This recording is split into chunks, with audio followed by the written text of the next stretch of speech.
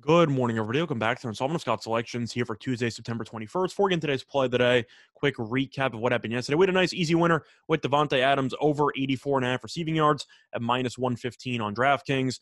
Adams had 100 plus after three quarters, and it was really never in doubt. So a nice sweat-free winner there in the NFL. Looking for another winner here on Tuesday. However, of course, there's no football on, so we're going to be going back to baseball. We're going to be looking at a matchup between two division rivals in the AL West as the Astros take on the Angels at around 9:30 p.m. Eastern Time. And for the play today, we like the Astros team total over four and a half runs at minus 135 on DraftKings.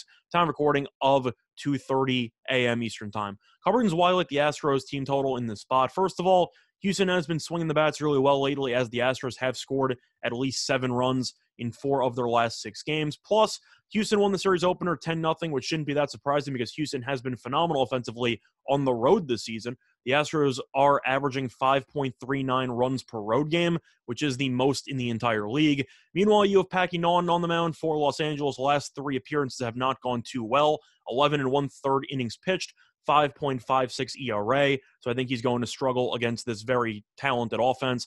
Plus, Naughton has really struggled going length this season as he was a reliever converted into a starter, as Naughton has not pitched more than five innings flat in an appearance. He's only done that once, so you should expect him to go around three or four innings in this spot before the bullpen comes in. And that is a bit of a problem for the Angels because the Angels have a 4.66 bullpen ERA, which is the seventh highest in the entire league.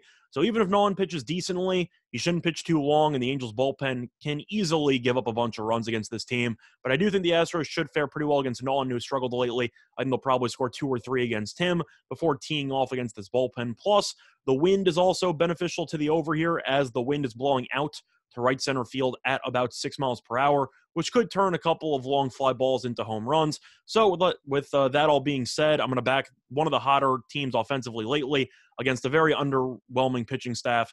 And at four and a half at minus 135, I'm going to take that to the bank. Play that once again here for Tuesday, September 21st is going to be on the Astros team total over four and a half runs at minus 135 on DraftKings. Bye, everyone.